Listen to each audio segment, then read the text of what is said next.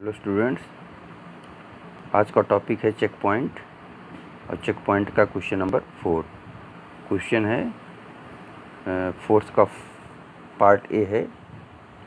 A X square plus eight X plus sixteen तो children इसको हम इस आइडेंटिटी से सॉल्व करेंगे क्योंकि इसी टाइप का क्वेश्चन है. A square plus B square plus two A B equal to A plus B whole square तो चिल्ड्रन यहाँ पर आप देखिए जो एक्स स्क्वायर है, इसको हम लिख सकते हैं, इसको कंप्लीटिंग स्क्वायर दैट इज़ लिख सकते हैं इसको एक्स का होल स्क्वायर और इसको लिख सकते हैं सिक्सटीन को फोर का स्क्वायर तो यहाँ पर जब आपको ए स्क्वायर और बी स्क्वायर स्क्वायर वाले दोनों मिल गए हैं तो बीच वाला टर्म देखते हैं क्या हो गया। हमारा ए हो गया एक्स और बी हो गया फोर तो टू ए बी से इसको लिखेंगे टू इंटू ए का मतलब एक्स यहाँ से ले लेंगे बी का मतलब फोर यहाँ से ले लेंगे। अब इसको आप वेरीफाई भी कर सकते हैं टू फोर जा एट एक्स इसी के बराबर आ रहा है। इट मीन्स ये हमारा करेक्ट है। अब A square plus B square यहाँ पर ए स्क्वायर मिला, यहाँ पर बी स्क्वायर मिला, और यहाँ पर टू ए भी मिला। इट मीन्स हो गया ए प्लस बी का होल स्क्वायर तो इस तरीके से हमारा क्वेश्चन नंबर फ़र्स्ट का सॉल्यूशन हो गया। अब आगे बढ़ते हैं। चिल्ड्रन क्वेश्चन नंबर से उसी का पार्ट सी देखते हैं। पार्ट सी को ध्यान से देखिए। इसमें भी बिल्कुल उसी तरीके से जैसे फोर ए स्क्वायर है तो फोर ए स्क्वायर को पहले हम होल में लिखेंगे, होल स्क्वायर में। That is you may write two A whole square उसके बाद हम नाइन बी स्क्वायर को देखेंगे। नाइन बी स्क्वायर को आप देख सकते हैं थ्री बी का होल स्क्वायर अब आपकी ए की वैल्यू टू ए हो गई और बी की वैल्यू थ्री बी हो गई यहाँ से। अब दोनों चीज़ें ए और बी मिल गई तो बीच में लिखते क्या हैं? टू इंटू ए ए मतलब two A into B B मतलब थ्री बी अब देखिए टू टू जा फोर थ्री जा ट्वेल्व और देखिए हमारा ट्वेल्व था, इसलिए मतलब ट्वेल्व ए बी सही है ट्वेल्व ए बी यहाँ से आ जाएगा। अब इसको हमको ए और बी मालूम है ए हमारा टू ए है, और बी हमारा थ्री बी है तो क्या बन जाएगा? Two A plus three B का होल स्क्वायर तो इस तरीके से आप इसको भी सॉल्व कर सकते हो।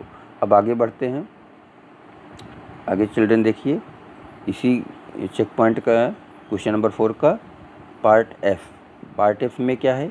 देखिए, इसमें अब तीन टर्म नहीं है तो a square plus b square plus two a भी नहीं ले सकता, ना तो a square plus b square minus two a भी लगता है भी लगे टू ए बी भी लगेगा। अब देखिए, यहाँ पर क्या है ये? Four x square minus sixty four अब सबसे पहले देखिए, इसमें कुछ कॉमन है दैट इज़ फोर कॉमन है।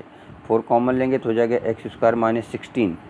अब ये यहाँ पर देखिए तो ये वाली आइडेंटिटी लग जाएगी। A square minus b square equal to a plus b into a minus b. तो ये फोर अपनी जगह पर रहेगा। ये एक्स स्क्वायर को लिख दिया और सिक्सटीन को फोर का स्क्वायर लिख दिया। माइनस है ही। तो यहाँ पर a square minus b square इस आइडेंटिटी का यूज़ करेंगे तो फोर अपने प्लेस पे रहेगा। ये हो जाएगा एक्स प्लस फोर और इंटू एक्स माइनस फोर। और ये इसका फाइनल आंसर हो जाएगा। तो आई थिंक स्टूडेंट्स आप इसको समझ गए होंगे। ये आइडेंटिटी लिख दिया हमने a square minus b square का। आगे चलिए स्टूडेंट्स क्वेश्चन नंबर जी की तरफ़। पार्ट जी की तरफ़ चलते हैं। इसमें देखिए क्या है।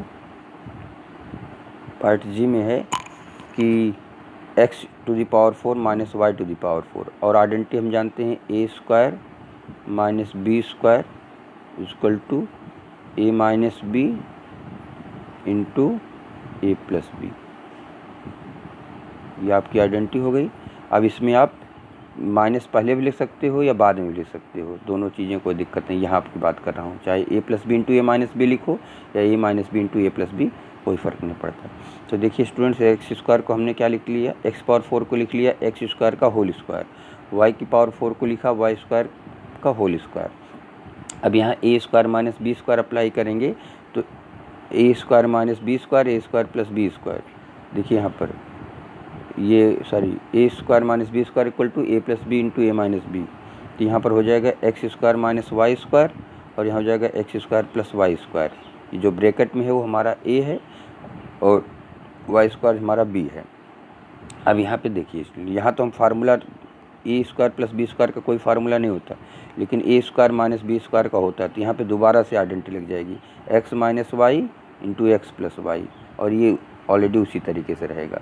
तो फाइनली आंसर हमारा आ जाएगा x minus y into x plus y into x square plus y square और ये हमारा फाइनल रिज़ल्ट हो जाएगा। ओके स्टूडेंट्स इस तरीके से आप ये आज का असाइनमेंट कंप्लीट कीजिएगा। Okay thank you